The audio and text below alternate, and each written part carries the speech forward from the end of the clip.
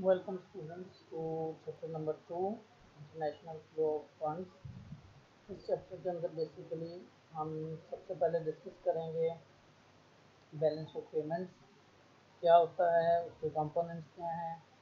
उसके बाद हम देखेंगे कि international trade that is import and export of goods and services ये किस तरह फ्लो करती है इंटरनेशनल मार्केट के अंदर कंट्रीज़ के दरमियान में। कौन से फैक्टर इसको इन्फ्लुएंस करते हैं। और इसी तरह हम देखेंगे कि इंटरनेशनल मार्केट्स के अंदर कैपिटल किस तरह फ्लो करता है इन्वेस्टमेंट्स एक कंट्री से दूसरे कंट्री की तरफ़ फ्लो करती हैं और कौन से फैक्टर उसको इन्फ्लुएंस करते हैं। और साथ ही साथ हम कुछ इंटरनेशनल एजेंसीज को डिस्कस करेंगे बड़ा ब्रीफली जो इन, इस सारे मैकेनिज्म को सपोर्ट करती हैं। तो we will start with balance of payments balance of payments की बात करें तो बिल्कुल जिस तरह किसी बिज़नेस ऑर्गेनाइजेशन में जनरल लेजर मेंटेन किया जाता है अकाउंटिंग एक्टिविटीज़ को ट्रांजेक्शन को रिकॉर्ड करने के लिए बिल्कुल उसी तरह कंट्री की transaction with the rest of the world उसको रिकॉर्ड करने के लिए उसका एक आ, एक रिकॉर्ड बनाने के लिए जो बुक्स को यूज़ किया जाता है, उस बुक उन बुक्स को बैलेंस ऑफ़ पेमेंट्स बोलते हैं, ठीक है? दैट मीन्स के बैलेंस ऑफ़ पेमेंट के अंदर किसी एक कंट्री के तमाम इनफ्लोज और आउटफ्लोज रिकॉर्ड किए जाते हैं। बैलेंस ऑफ़ पेमेंट के चार कंपोनेंट होते हैं। सबसे पहले इसमें करंट अकाउंट आता है, फिर कैपिटल अकाउंट फिर financial account and then last में errors and omission current account की बात करें तो current account basically current financial year की से रिलेटेड जितनी भी ट्रांजेक्शन हैं उनकी रिकॉर्डिंग करता है। आ, उसके अंदर सबसे पहले बैलेंस ऑफ़ ट्रेड आ जाता है that is the difference between imports and exports इसको हम बैलेंस ऑफ़ ट्रेड बोलते हैं। तो आपकी एक्सपोर्ट्स बेसिकली आपकी कंट्री के लिए इनफ्लो है फॉरेन करेंसी का। आपकी इंपोर्ट्स जो हैं वो आउटफ्लो है तो इस आउटफ्लो और इनफ्लो का डिफरेंस जो है वो बैलेंस ऑफ़ ट्रेड कहलाता है। देन इसके अंदर फैक्टर इनकम पेमेंट्स आ जाती हैं। फैक्टर इनकम पेमेंट्स में दो तरह की ट्रांजेक्शन होती हैं। एक, वो नेशनल रेजिडेंट्स पाकिस्तान की अगर बात करें तो वो पाकिस्तानी जो दूसरे मुल्कों में जाके सर्विसेज़ दे रहे हैं मजदूरी कर रहे हैं, काम कर रहे हैं और अपना पैसा जो है वो पाकिस्तान में भिजवाते हैं। तो ये पाकिस्तान के लिए इनफ्लो है। फैक्टर इनकम पेमेंट्स का। और अगर कोई फॉरनर यहाँ के काम कर रहा है और वो अपनी इनकम का कुछ हिस्सा अपने घर को बेचता है तो ये आउटफ्लो होगा फैक्टर इनकम पेमेंट्स का।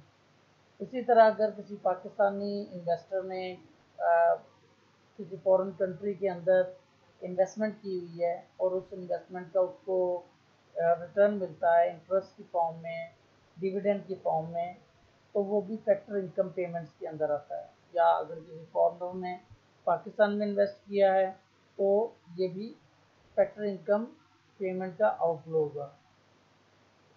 थर्ड नंबर पे इसमें ट्रांसफ़र पेमेंट्स आ जाती हैं, जिसके अंदर मोस्टली गिफ्ट्स होते हैं। सब्सक्रिप्शन फ़ी वगैरह, आप किसी फॉरेन यूनिवर्सिटी में पढ़ रहे हैं, उसके लिए आप फ़ी पे करते हैं तो वो आउटफ्लो ट्रांसफ़र पेमेंट्स के तौर पर रिकॉर्ड किया जाएगा। देन सेकंड नंबर पे बात करें second component of balance of payment is capital account capital account basically उन तमाम ट्रांजेक्शन्स को डील करता है, जिसके अंदर फ़िज़िकल एसेट्स प्रॉपर्टीज़ का बाइंग एंड सेलिंग हो रही होती है नेशनल रेजिडेंट्स और फॉरनर्स के दरमियान में। उसके अंदर सबसे पहले कैपिटल ट्रांसफ़र आ जाता है, जो कि बेसिकली लैंड और बिल्डिंग्स वगैरह की बाइंग एंड सेलिंग के मतलब होता है। दूसरा एक कैटेगरी इसके अंदर आ जाती है acquisition of non produce non financial assets ये बेसिकली अगर कोई फॉरनर पाकिस्तान के अंदर कोई नेचुरल रिसोर्स को एक्वायर करता है फॉर एग्जांपल पाकिस्तान के अंदर एक सफारी पार्क है या छांगा मंगा का जंगल है तो कोई फॉरेनर कंपनी अगर उसको परचेज करती है उस लैंड को या लीज पे लेती है तो ये acquisition of non produce non financial assets के अंदर आएगा। देन तीसरे नंबर पे कंपोनेंट आता है बैलेंस ऑफ़ पेमेंट का फाइनेंशियल अकाउंट्स फाइनेंशियल अकाउंट के अंदर जैसा कि नाम रिप्रेजेंट कर रहा है, तमाम फाइनेंशियल इन्वेस्टमेंट्स जो हैं, वो उसके अंदर प्लेस की जाती हैं।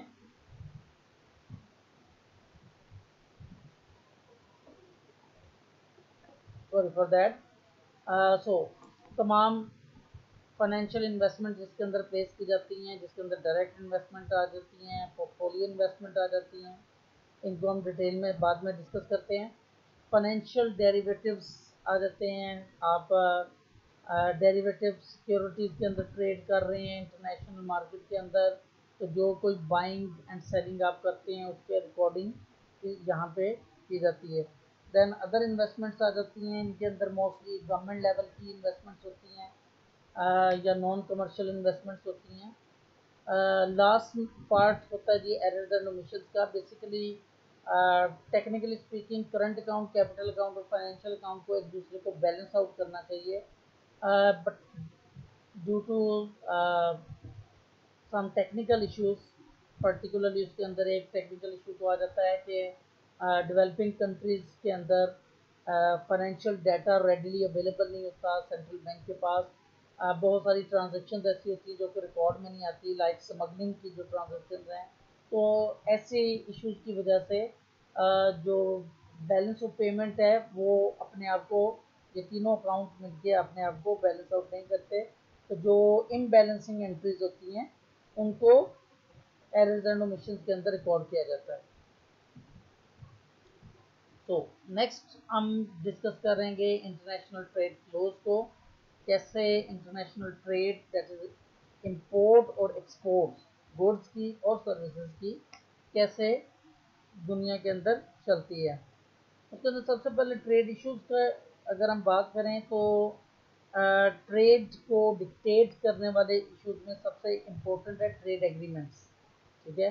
ट्रेड एग्रीमेंट्स ऐसे इवेंट्स हैं जिनकी वजह से इंटरनेशनल ट्रेड इंक्रीज होती है एक्सपोनेंशियली ठीक है वो चाहे डब्ल्यू टी ओ की फॉर्म में हो सिंगल यूरोपियन एक्ट हो, अभी रिसेंटली हम देख रहे हैं सी पैक की example China Pakistan economic corridor ठीक है? अब ये एक ऐसा ट्रेड एग्रीमेंट है जिसकी वजह से ऑटोमेटिकली पाकिस्तान और चाइना के दरमियान में और इंटरनेशनल मार्केट की पाकिस्तान की जो गवादर पोर्ट है उसके साथ ट्रेडिंग ऑटोमेटिकली बढ़ती जाएगी।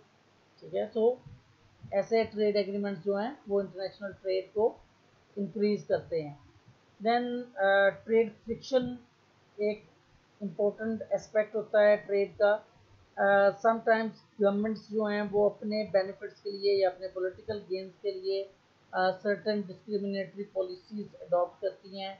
अपने लोकल प्रोड्यूसर्स को बेनिफिट देने के लिए फॉर एग्ज़ाम्पल अगर पाकिस्तान की ऑटोमोबाइल इंडस्ट्री की बात करें तो यहाँ के लोकल प्रोड्यूसर को प्रोटेक्ट करने के लिए गवर्नमेंट जो है, वो इम्पोर्टेड व्हीकल्स अलाउ ज़रूर करती है बट उनके ऊपर बहुत हैवी किस्म की ड्यूटीज़ इम्प्लीमेंट की जाती हैं। ठीक है almost hundred percent of price के इक्वलेंट और even sometime two hundred percent of price के इक्वलेंट जो है, वो ड्यूटीज़ की जाती हैं। सो दैट कि जो लोकल हमारे यहाँ ये Hero Honda sorry Atlas Honda है सुजुकी है, जो लोकली प्रोड्यूस कर रहे हैं, उनको प्रोटेक्ट किया जा सके।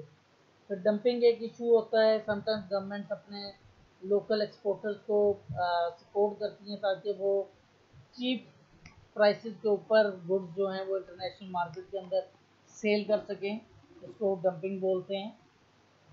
देन एक और इम्पोर्टेंट इशू जो ट्रेड के अंदर फेस करना पड़ता है, या ट्रेड को बढ़ाने या कम करने का बायस बनता है। That is exchange rate as policy matter sometimes governments जो हैं, क्योंकि अभी हम अगले चैप्टर में पढ़ेंगे एक्सचेंज रेट के मतलब गवर्नमेंट्स जो हैं, वो समटाइम्स अपने बैलेंस ऑफ़ पेमेंट को मैनेज करने के लिए अपने एक्सचेंज रेट्स को कम ज़्यादा करती हैं। जिसकी वजह से अचानक से इंटरनेशनल मार्केट के अंदर एक आर्टिफिशियल कंपटीशन पैदा हो जाता है। तो ऐसे इश्यूज़ जो हैं वो ट्रेड में रुकावट पैदा करते हैं। ऑब्वियसली uh, जो जिस कंट्री की गवर्नमेंट अपने एक्सचेंज रेट को एडजस्ट कर रही है वहाँ के इम्पोर्टर एक्सपोर्टर को उसका बेनिफिट होता है बट दूसरे कंट्रीज़ के जो प्रोड्यूसर्स होते हैं वो उसकी वजह से इफ़ेक्ट होते हैं। देन आउटसोर्सिंग एक इम्पोर्टेंट फैक्टर है। जो कि ट्रेड को बढ़ाने, कम करने की रीज़न बनता है, उसकी एक छोटी सी एग्जांपल आप ले सकते हैं कि करंटली इंडिया जो है वो सेकंड लार्जेस्ट जो है वो हब है आउटसोर्सिंग की। दैट मीन्स कि वहाँ से सर्विसेज़ एक्सपोर्ट्स इंडिया से हो रही है। जितनी भी आपको आईटी इंडस्ट्रीज़ आईटी कंपनीज़ मिलेंगी, उनके जो टेली मार्केटिंग है कॉल सर्विस सेंटर्स है टेक्निकल सर्विसेज़ हैं, इन सब की जो वर्किंग है, वो इंडिया से ऑपरेट होती है और कंपनीज़ ने इनको आउटसोर्स किया हुआ है। तो ऑब्वियसली इंडिया की एक्सपोर्ट्स सर्विसेज़ की बहुत ज़्यादा बढ़ जा, गई है आउटसोर्सिंग की वजह से।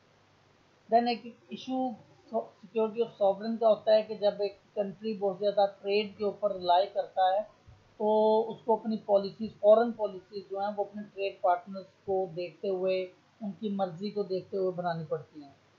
Then political influence important aspect है एक बहुत इम्पोर्टेंट इशू है ट्रेड का। ट्रेड uh, जो है वो डिमांड एंड सप्लाई से ज़्यादा इस चीज़ पर मैटर कर रही होती है। कि पॉलिटिकल रिलेशनशिप दो कंट्रीज़ के कैसे हैं? देन कुछ फैक्टर्स हैं जो कि पर्टिकुलरली ट्रेड फ्लोज को इफ़ेक्ट करते हैं। उसके अंदर इन्फ्लेशन आ जाता है नेशनल इनकम आ जाता है गवर्नमेंट पॉलिसीज़ हैं एक्सचेंज रेट्स हैं। वन बाय वन इनको देखते हैं। इन्फ्लेशन की बात करें तो जैसे जैसे किसी कंट्री दो कंट्रीज़ अब इन सब के लिए मैं ना दो कंट्रीज़ का कंपैरिजन करूँगा। पाकिस्तान और यूएसए को ले लेते हैं। अगर पाकिस्तान का इन्फ्लेशन लेवल यूएसए के मुकाबले में ज़्यादा तेज़ी से बढ़ रहा है और जो कि बढ़ रहा है से यूएसए के अंदर एट अ पर्टिकुलर टाइम जो है वो इन्फ्लेशन कोई तीन परसेंट है, पाकिस्तान के अंदर इन्फ्लेशन जो है आठ परसेंट है तो ऑटोमेटिकली जो पाकिस्तान की लोकली प्रोड्यूस्ड गुड्स हैं, वो बहुत तेज़ी से महँगी होती जा रही है। ठीक है, जबकि यूएसए की जो मैन्युफैक्चर्ड गुड्स हैं, वो इतनी जल्द इतनी तेज़ी से, इतनी क्विकली महँगी नहीं हो रही। तो कंसिडरिंग द फैक्ट या एक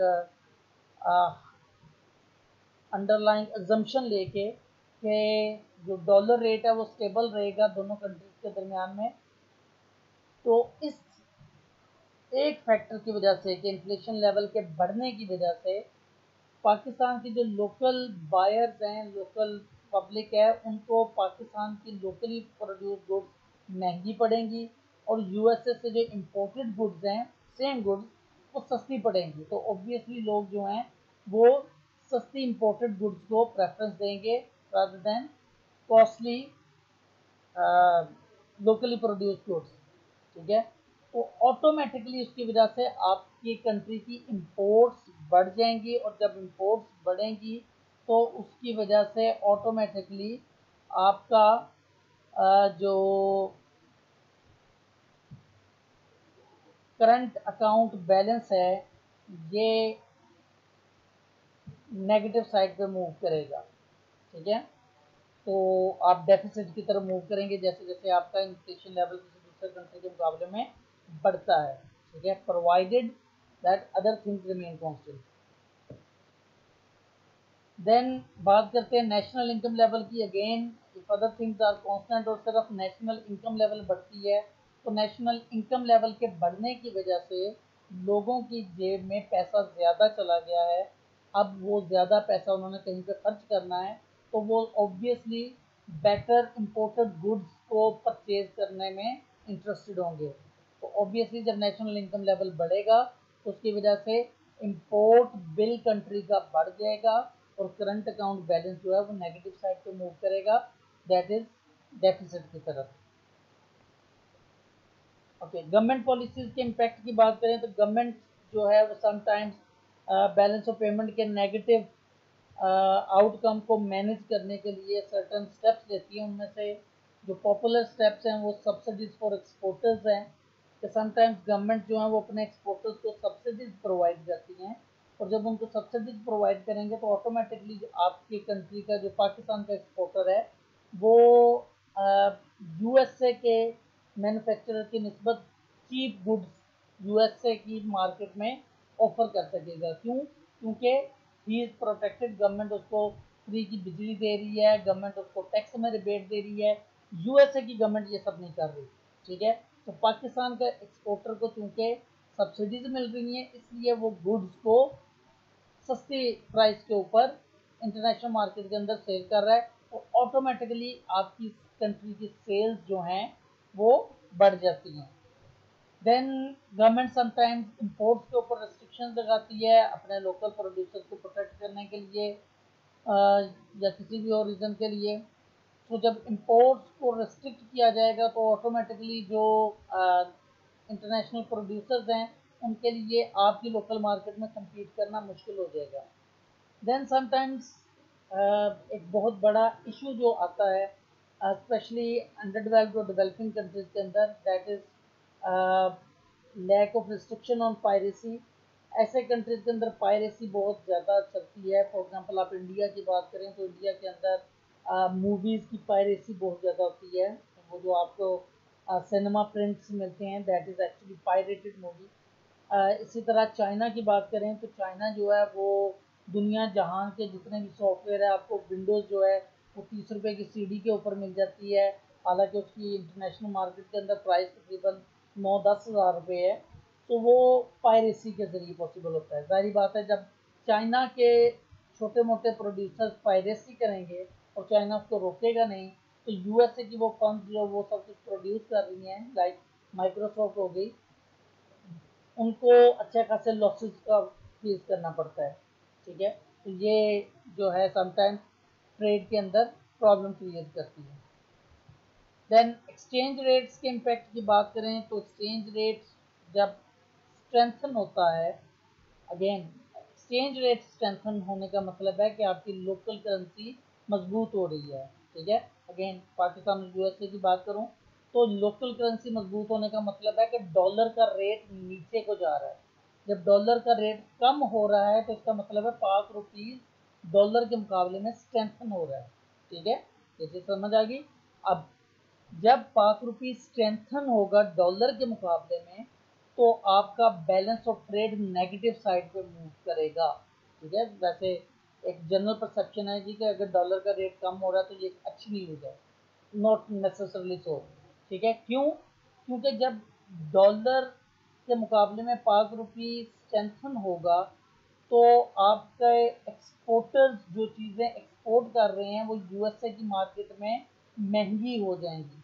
क्योंकि डॉलर नीचे चला गया है पाक रुपी ऊपर चला गया है। अब यूएसए के कस्टमर को ज़्यादा डॉलर स्पेंड करने पड़ेंगे, वही गुड्स परचेज करने के लिए। ठीक है? At the same time Pakistan के इंपोर्टर को कम रुपीज़ देने पड़ेंगे सेम आइटम को इंपोर्ट करने के लिए। तो ऑब्वियसली इसका इफ़ेक्ट क्या आएगा कि इंपोर्ट्स बढ़ जाएँगी एक्सपोर्ट्स आपकी कम हो जाएँगी तो ऑब्वियसली आपका बैलेंस ऑफ़ ट्रेड जो है वो डेफिसिट की तरफ़ मूव करेगा।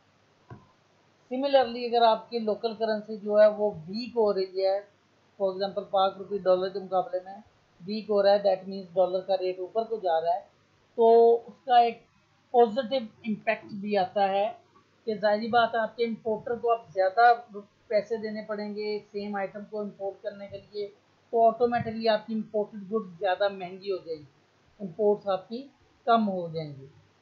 और इसी तरह आपका एक्सपोर्टर जो है वो कम प्राइस के ऊपर गुड्स बेच सकता है क्योंकि यूएसए के कस्टमर को कम डॉलर पे करना पड़ेंगे आइटम को परचेज करने के लिए तो आपकी एक्सपोर्ट्स बढ़ेंगी।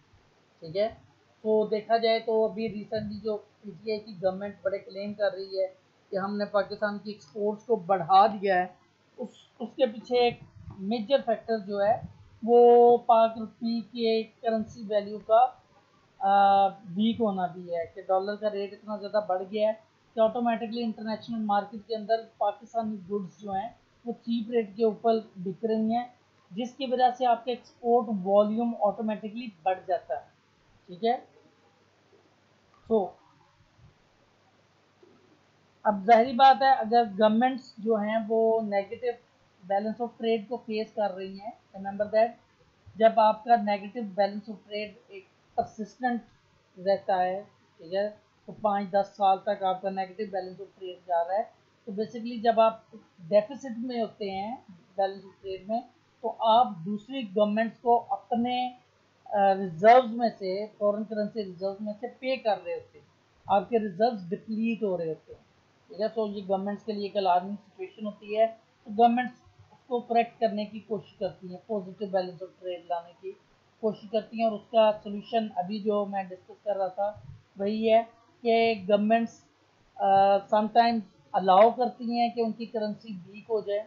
ठीक है अलाउ कर करने का मतलब ये है कि जो सेंट्रल बैंक इंटरवीन कर रहा होता है करेंसी को स्टेबल रखने के लिए वो इंटरवेंशन छोड़ देता है, ठीक है?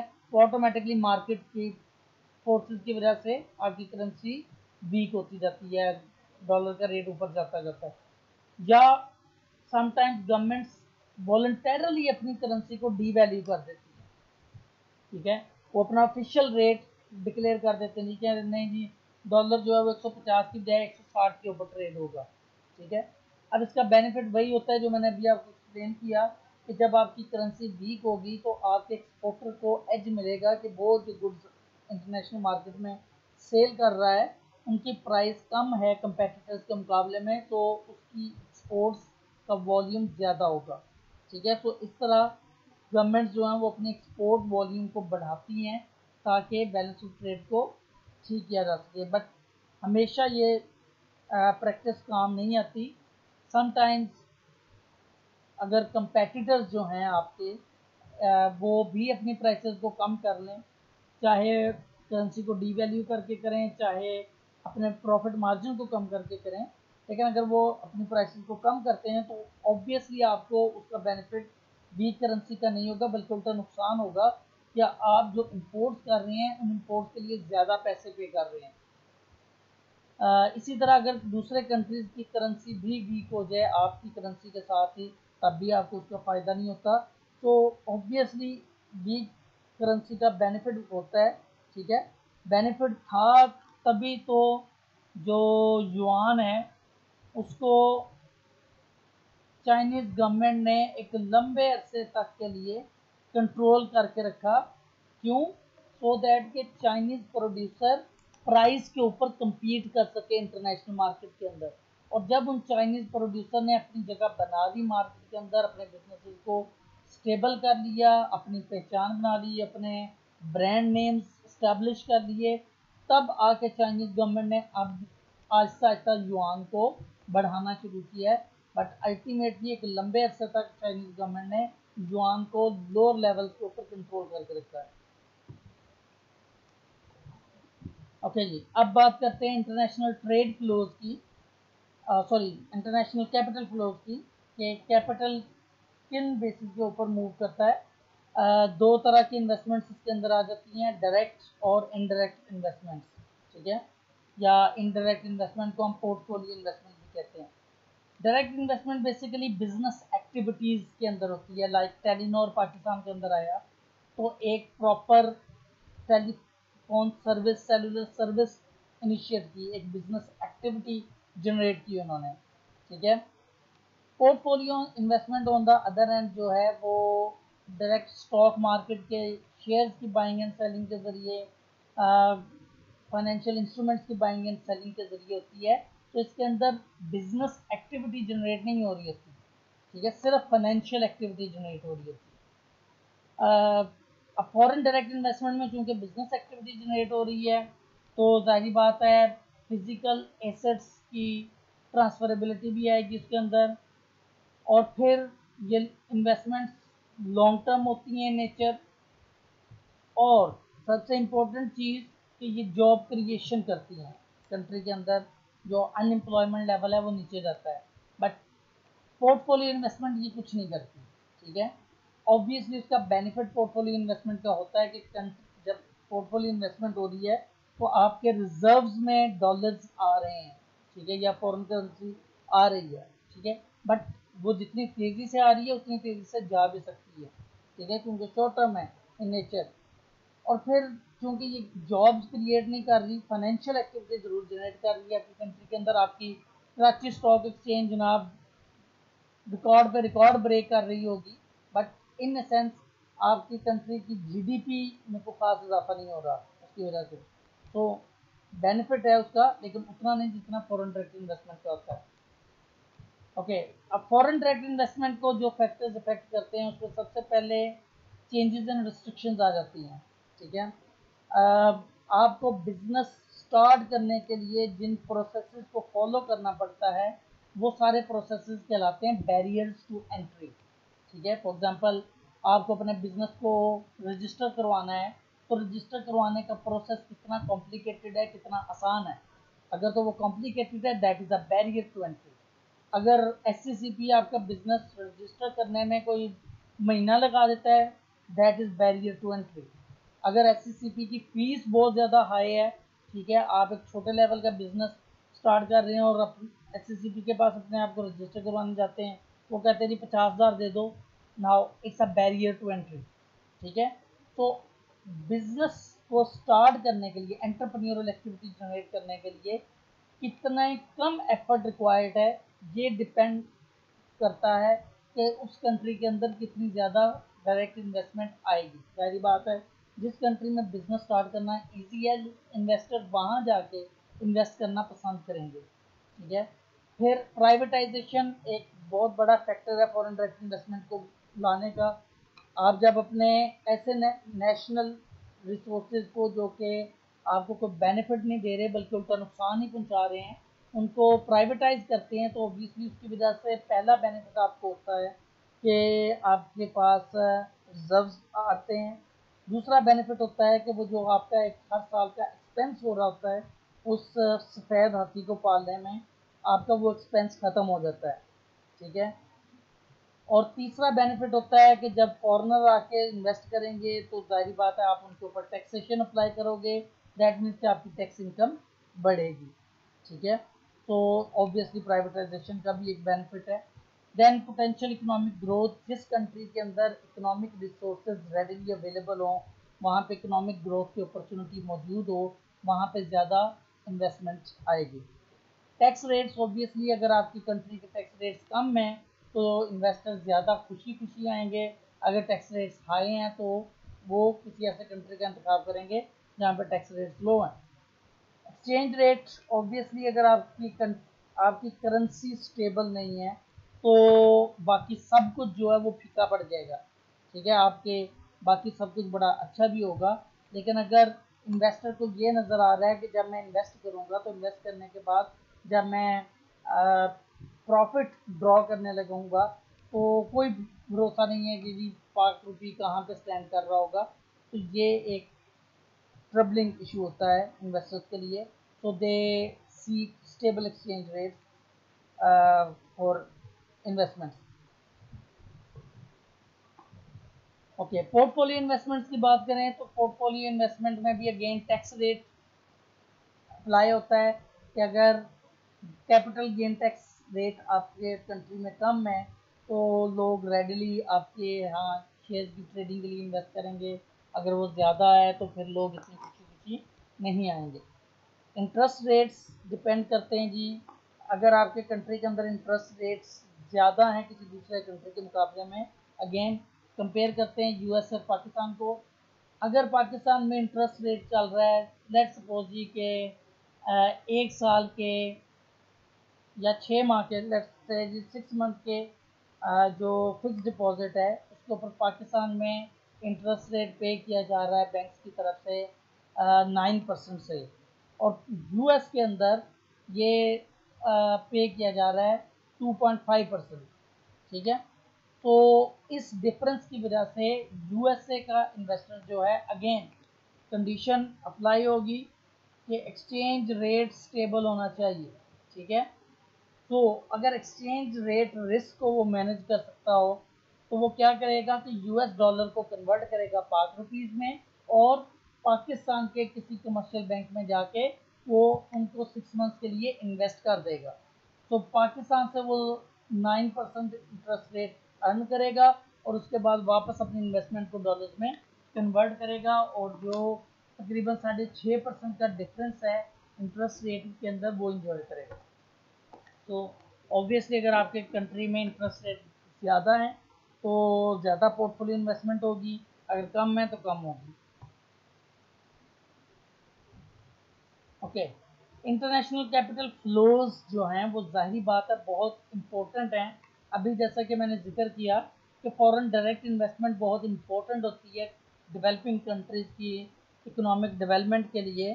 ज़ाहिर बात है, उसकी वजह से आपकी कंट्री के अंदर फॉरेन एक्सचेंज, आपके रिजर्व्स बढ़ रहे होते हैं, आपके जॉब क्रिएशन हो रही होती है बिज़नेस एक्टिविटीज़ हो रही होती हैं दैट मीन्स कि आपके कंट्री के अंदर नई प्रोडक्ट्स इंट्रोड्यूस हो रही हैं, आपकी जीडीपी इंक्रीज हो रहा है सो फॉरेन डायरेक्ट इन्वेस्टमेंट बहुत इंपॉर्टेंस की हामिल होती हैं। ऑब्वियसली पोर्टफोलियो इन्वेस्टमेंट भी इंपॉर्टेंट होती है, लेकिन पोर्टफोलियो इन्वेस्टमेंट हमेशा उन कंट्रीज़ में ज़्यादा होगी जहाँ पे जो एक्सचेंज रेट्स हैं या फाइनेंशियल मार्केट्स हैं वो ज़रा परफेक्ट या नियर परफेक्ट मार्केट्स हैं। नियर परफेक्ट मार्केट मीन्स के वहाँ पे इंफॉर्मेशन रेडीली अवेलेबल है। सिक्योरिटी uh, है इन्वेस्ट करने की और प्रॉपर uh, मॉनिटरिंग है ये सारे फैक्टर्स होंगे। तभी uh, जो पोर्टफोलियो इन्वेस्टमेंट है वो आपकी कंट्री में ज़्यादा होगी। अब बात करते हैं इंटरनेशनल एजेंसीज की जो कि इन तमाम ट्रांजेक्शन को फैसिलिटेट करती हैं। उसके अंदर सबसे पहले आईएमएफ आ जाता है इंटरनेशनल मॉनेटरी फंड 1944 के अंदर इसको इस्टेब्लिश किया गया था और बेसिक पर्पज इसका जो कंट्रीज़ के दरमियान में इम्बेलेंसेज आते हैं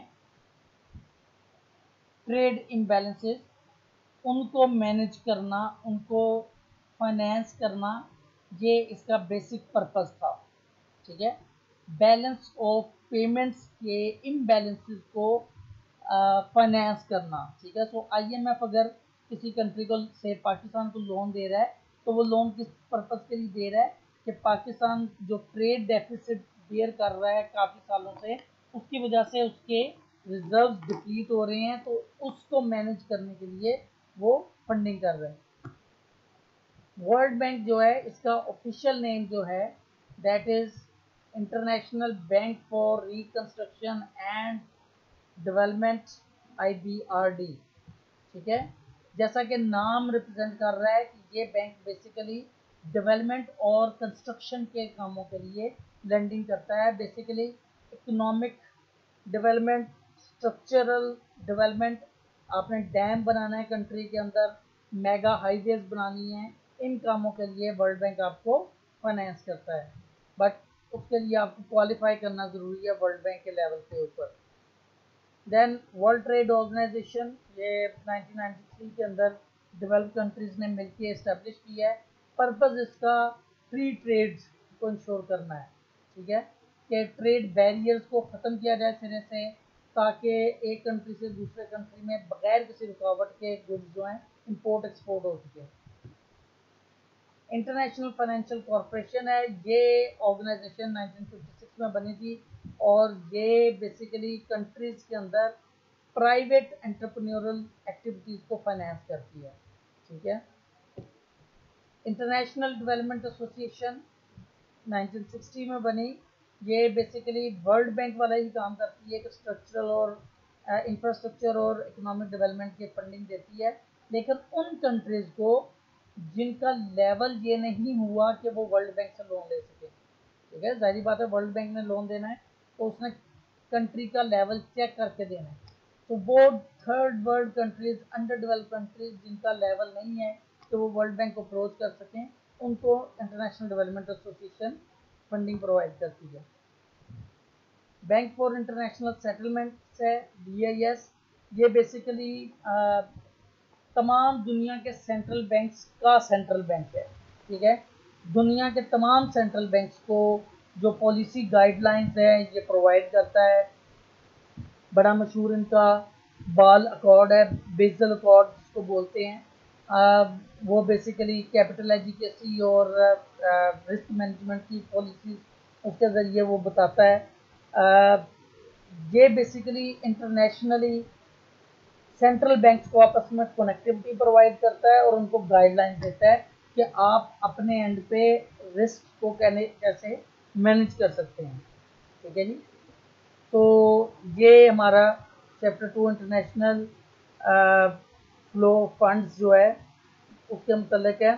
आ, किसी भी किस्म का क्वेश्चन हो तो वो गूगल क्लासरूम के अंदर पोस्ट कीजिएगा। Thank you for listening thank you very much have a nice day अल्लाह हाफिज़।